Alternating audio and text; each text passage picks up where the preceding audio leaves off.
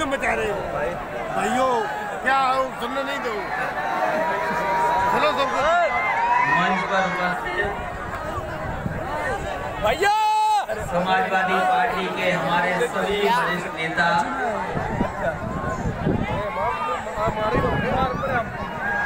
क्योंकि सभी समाजवादी पार्टी के हमारे वरिष्ठ नेता मंच पर बैठे हैं मार लबेदा पर बैठे टिकी अब एक एक का अगर नाम लूँगा मैं तो बहुत समय लग जाएगा भैया अभी जब मैं मंच पे था तो मैंने पूछा कि सबसे ज़्यादा बुज़ुर्ग कौन है?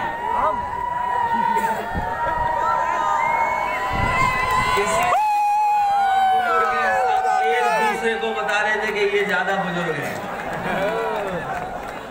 इसलिए आदरणीय छोटे सिंह यादव जी, हमारे पूर्व सांसद मनु बाबू जी और पूर्व सांसद आदरणीय रामबख्श वर्मा जी सतीश चंद्र देशी जी, यहाँ पर हमारी पार्टी के सभी वरिष्ठ नेता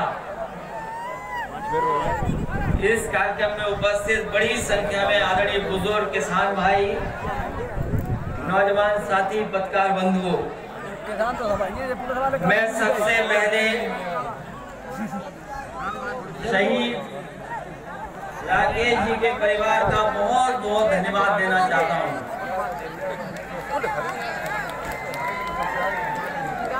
जिस शहीद परिवार से हमें मिलने का मौका मिला और उनके परिवार ने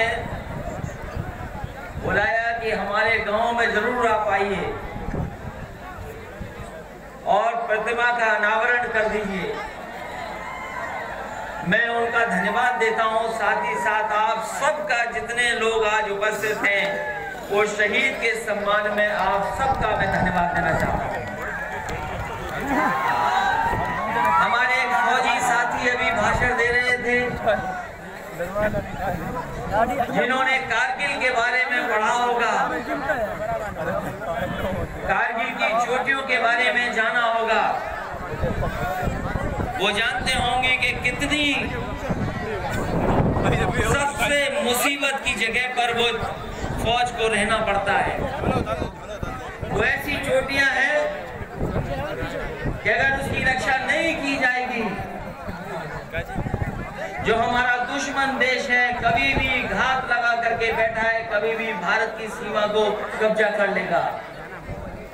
मैं राकेश के साथ साथ उन तमाम शहीदों को आज मैं नमन करता हूँ कि जिनकी वीरता की वजह से, जिनके साहस की वजह से, जिनकी बहादुरी की वजह से हमारी चोटियाँ आज भी सुरक्षित हैं।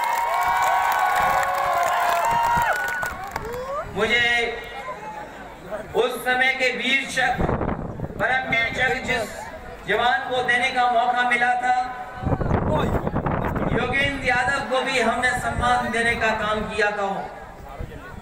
जीवित अगर किसी को इतना बड़ा सम्मान फौज का मिला है तो वो हमारे आपके बीच का ही निकला जवान, नौजवान योगेंद्र यादव को वो सबसे बड़ा सम्मान प्राप्त है। जब उनके मुँह से कहानी सुनी थी मैंने और जब कहानी उन्होंने बताई कि क्या घटना हुई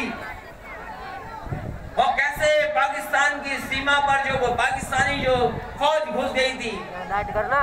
उसका कितना मुकाबला उनको करना पड़ा।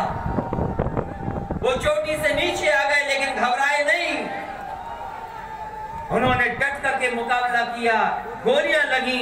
गोलियों के बाद भी रक्षा की और उसकी वजह से उन्हें सबसे बड़ा देश का सम्मान मिला है। उससे बड़ा फौज का कोई सम्मान नहीं है। अखिलेश भैया जिंदाबाद। हमारा देश सुरक्षित रहे।